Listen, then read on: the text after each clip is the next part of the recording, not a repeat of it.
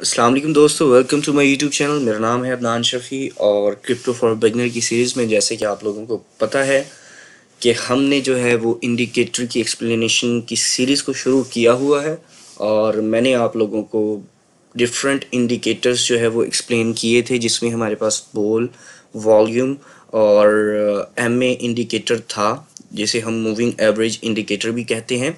और आज की वीडियो में मैं आपको E M A indicator explain करूँगा। और ई एम ए हमारे पास एक्सपोनेंशियल मूविंग एवरेज होता है। आ, मैं आपको दोनों का डिफरेंस भी बता दूँगा कि एम ए और ई एम ए में मूविंग एवरेज इंडिकेटर में और एक्सपोनेंशियल मूविंग एवरेज इंडिकेटर में क्या डिफरेंस है। तो इसी चीज़ की एक्सप्लेनेशन की वजह से मैं आपको अपनी कंप्यूटर स्क्रीन पर लेकर आया हूँ। हम यहाँ पे अपने बाइनांस अकाउंट में इस इंडिकेटर को देखेंगे। तो यहाँ पे मैंने अपना बाइनांस का अकाउंट लॉगिन किया हुआ है और हम अपने बाइनांस के अकाउंट पर जाएँगे। यहाँ पे हम जो है वो चार्ट ओपन कर लेते हैं मार्केट पे जाने के बाद। यहाँ पे हमने स्पॉट मार्केट पे क्लिक करना है और B T C to B U S D का पेयर ओपन कर लेना है। नेट आई थिंक मेरा थोड़ा सा स्लो है। अच्छा जी। हमारे पास चार्ट इसका ओपन हो रहा है। और पिछली वीडियो में हमने इंडिकेटर एम ए देखा था मूविंग एवरेज और यहाँ पे हम ई एम ए देखेंगे, जिसको हम एक्सपोनेंशियल मूविंग एवरेज कहते हैं। ठीक है? अच्छा अब देखें, यहाँ पे जो है ना एम ए और ई एम ए में हमारे पास क्या डिफरेंस होता है कि जो एम ए होता है, मैंने आपको बताया था जो हमारी कैंडल की ओपनिंग एंड क्लोजिंग होती है शेडो को निकाल के उसको जो है वो काउंट करता है। जैसे मेरे पास ये एक कैंडल है और इस कैंडल में मेरे पास ऊपर जो एक अपवर्ड एक जो है लकीर शो हो रही है, इसको हम शेडो कहते हैं, और डाउनवर्ड जो लकीर शो हो रही है, इसको भी शेडो कहते हैं। दरमियान में ये हमारी एक कैंडल है, जो आपको रेड कलर का एक नज़र आ रहा है।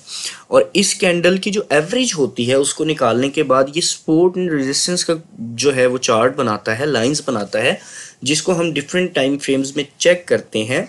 वो हमारे पास एमए कहलाता है, और जो हमारे पास शेडो को भी इंक्लूड करता है, और उसकी एवरेज हमें शो करवा रहा होता है, वो हमें एक्सपोनेंशियल मूविंग एवरेज में पता लगता है। एक्सपोनेंशियल मूविंग एवरेज के दरमियान में हमने जो है वो इंडिकेटर जो है वो सेटिंग की होती है इंडिकेटर्स की। टेक्निकल इंडिकेटर पे जाएँ तो ई एम ए में देखें मैंने यहाँ पे ई एम ए जो वन है, उसमें एट के candles twelve candles twenty different candles को हमने यहाँ पे शो किया और उसी की जो है वो यहाँ पे कलर की मेरे पास लाइंस शो हो रही होती है। अब मैं जो है डिफरेंट टाइम फ्रेम में चार्ट में ये चीज़ देख लेता हूँ कि ये डिफरेंट फ्रेम के चार्ट में हमें शो करवा रही होती है कि इतनी कैंडल्स की जो एवरेज है वो यहाँ पे बनती है कि इस प्राइस की यहाँ पे बनती है, इस प्राइस की यहाँ पे बनती है, इस प्राइस की यहाँ पे बनती है। अब देखिए हमारे पास जो है, ये मेरे पास एक रजिस्टेंस बनी हुई है जिसको इसने टेस्ट करने की कोशिश की और इसको जो है ना वो कट नहीं कर सका और ये ब्रेक कर गया।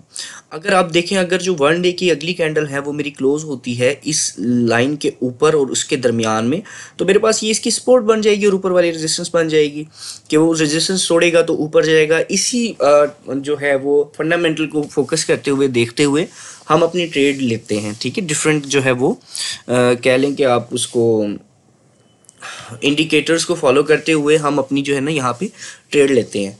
तो मेरा ख्याल है कि आज की वीडियो में बस इतना ही बेसिक सी चीज़ें मैं आप लोगों को एक्सप्लेन कर रहा हूँ, लेकिन अगर आप डिटेल में भी ये चीज़ें जानना चाह रहे हैं तो आप जो है वो कमेंट सेक्शन में मुझसे पूछ सकते हैं।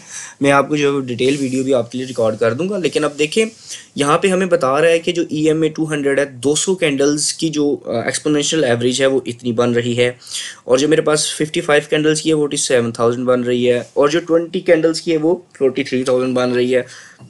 और जो 42 कैंडल्स ट्वेल्व कैंडल की है, वो 41 बन रही है और 8 कैंडल्स की 41 समथिंग लाइक दैट ये बन रही है। जब हमारे पास ये प्राइस टूटेगी तो हमारे पास जो है 8 कैंडल्स की जो एवरेज होगी, वो उसकी सपोर्ट बन जाएगी और ये इसकी रेजिस्टेंस बन जाएगी, जो 12 कैंडल की है।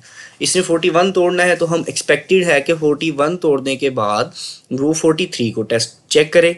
जब वो 43 को भी कट कर जाएगी, तोड़ जाएगी तो हम एक्सपेक्ट करेंगे कि ये हमारे पास 43 के बाद जो है, ये तकरीबन जो है फोर्टी सेवन को टच करनी चाहिए। फोर्टी सेवन क्रॉस करने के बाद ये फोर्टीन एट समथिंग को टेस्ट करना चाहिए।